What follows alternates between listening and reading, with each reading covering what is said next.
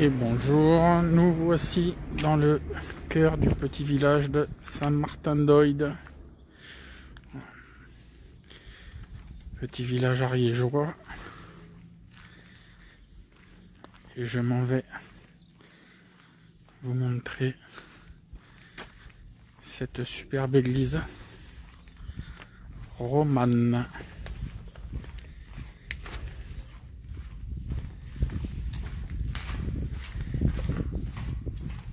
L'église Saint-Anastase de Saint-Martin-d'Oïde.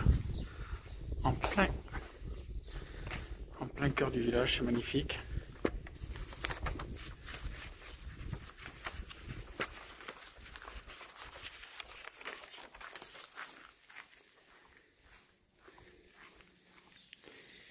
Un édifice de style néo-roman.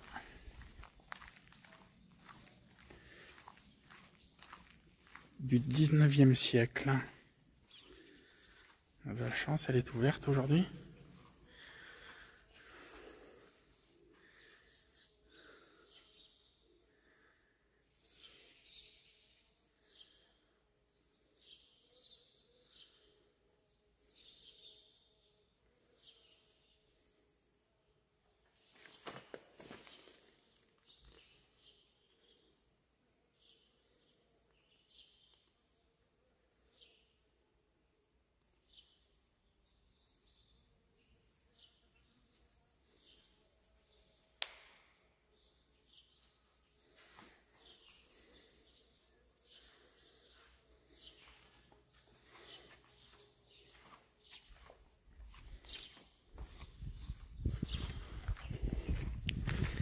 La mairie juste à côté.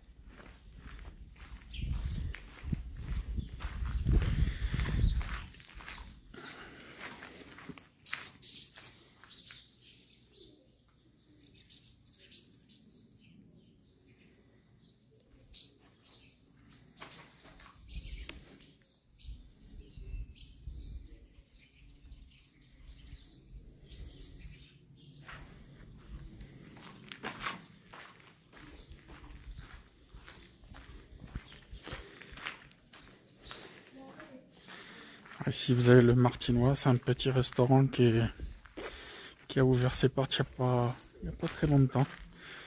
Vous voyez, en fait, l'église est au cœur du village. Et, euh, et on en fait le tour. Et forcément le tour du village en même temps quoi.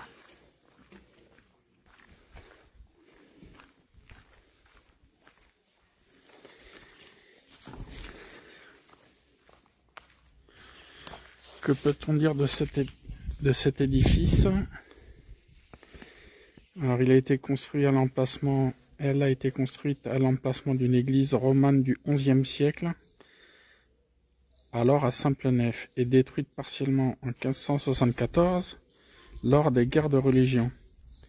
Elle était très délabrée et trop exiguë. Il fut décidé de construire un nouvel édifice sur la base d'un devis fourni en 1878 par l'architecte diocésien Ferdinand, Ferdinand de Coma. Achevé en 1887, seules les bases des murs du clocher et du chevet de l'église initiale ont été réemployées.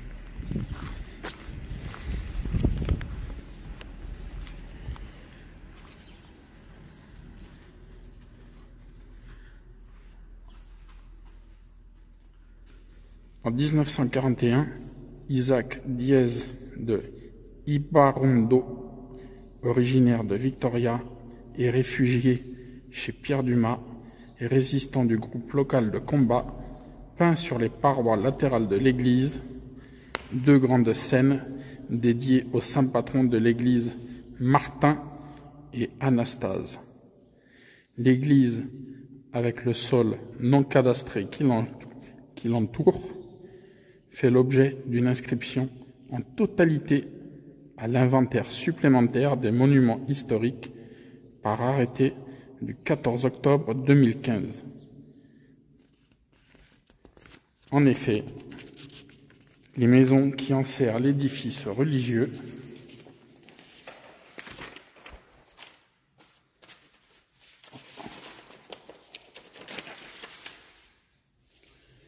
constituent en elles-mêmes une enceinte fortifiée formant une ellipse autour de l'église, pouvant ainsi assurer une défense efficace.